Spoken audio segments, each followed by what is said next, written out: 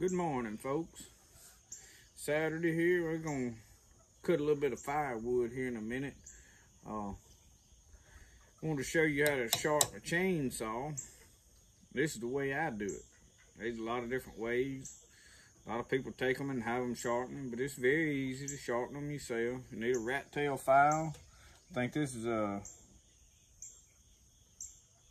530, let's see, can't hard, I think it's 730 seconds.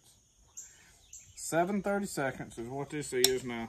Depending on your saw and your chain, that could be a little different. I think this is pretty much standard for most average chainsaws of normal size, not the small ones. On the top of your chain, there's some uh, little lines on most chains now. Not all chains have them. I'm gonna show you right quick what I'm talking about.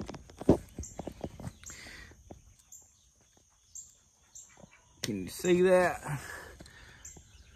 Right there. We have to back up.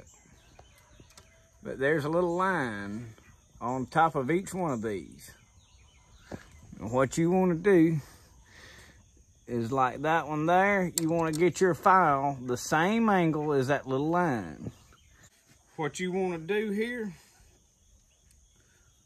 is you want to do the same side.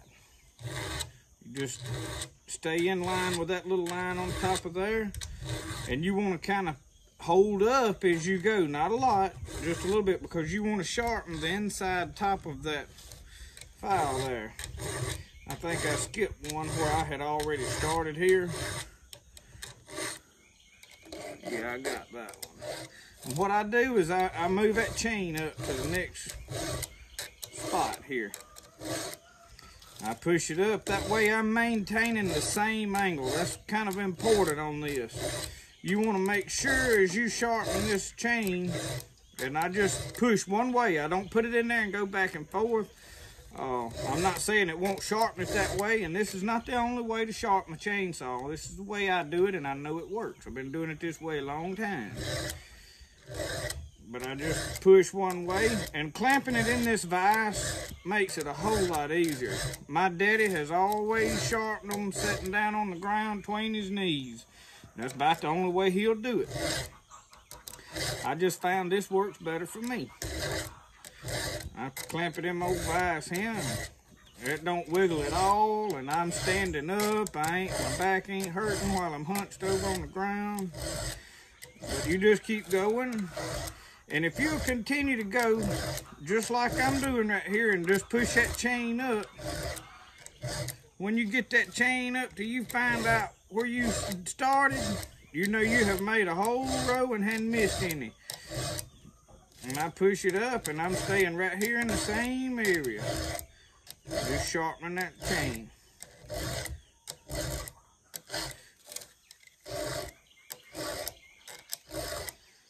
And it don't take a whole lot, about five or six good whacks. Now, if you ain't got a good file, you can tell when that file's pulling shavings off. You'll actually see them. Right here, as I push, I'm seeing little shivers of metal fly off right here, and I know that's sharpening that chain. It don't take a whole lot. Don't grind it down to nothing. You just want to put a little edge on there unless you've just really burned it up on something. And I almost did that on this one, making a raised bed. I was cutting some pine.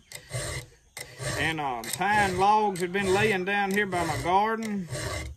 And uh, there was a lot of lighter pine on the inside of them. And friend, that's, that's hard stuff. Tough on old chainsaw. But anyway, we we putting another edge on this. I've got two saws. I've done done the other one, but just staying right here in about the same area and push that chain up. It don't take but a few minutes to do this. It's a lot easier. You get hurt with a dull chainsaw. You need one that's cutting and you ain't having to force and push. All right, I'm back to where I see that I've already started.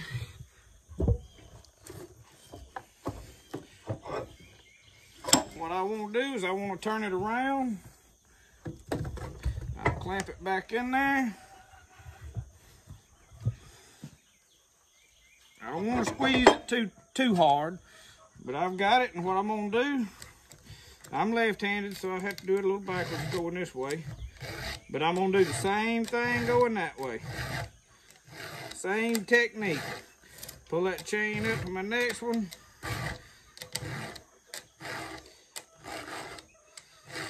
You ain't gotta carry your chainsaw to the saw shop, get it sharpened. Get you a little, what they call a rat tail file. Make sure it's the same size as your chain. Most of them, I think, are 730 seconds. This wrote on there. Be wrote right down here on this party file. And I made me a little handle for mine. It's just gonna come with a file and point it in. Just drill you a little hole in there and you any block of wood or whatever will just about work for a handle, but it makes it a lot easier if you put you something on there for a handle. And you can buy handles. I don't be buying handles though, too easy to make. Save that dollar. Buy me a Coca-Cola with it. But anyway, thank you guys for watching my videos. Uh, we trying to just put some good content on here, odd and end stuff that that you know some people may not be comfortable doing. And if you get these angles uh, different, your saw cut when you start cutting, it'll start cutting like this. If you cutting and your saw's pulling one way, that means you got one chain, one direction sharper than the other, or you've got a different angle. If you'll just kind of stay even with these uh, lines it's put on top of your, it makes it a whole lot easier to stay with that. Thank y'all for watching. Hit like, subscribe if you hadn't already. Help, It helps me get my videos recognized and finds other viewers that, that uh, may not have seen this stuff. Help some other folks find it. Thank y'all.